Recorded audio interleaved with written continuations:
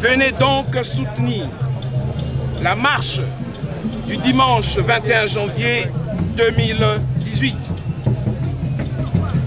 Le psaume 23, cette prière du roi David qui terrassa Goliath, se trouve dans la Torah, la Bible, le Coran. Elle révèle qu'aucune puissance terrestre ou invisible ne peut nous séparer de l'amour de Dieu.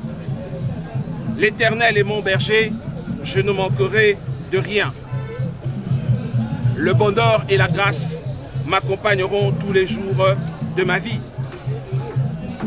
Les abus et les failles du système politique qui dirige notre pays actuellement ont été brillamment et localement exposés par les prêtres catholiques et les pasteurs protestants au cours des cinq derniers jours.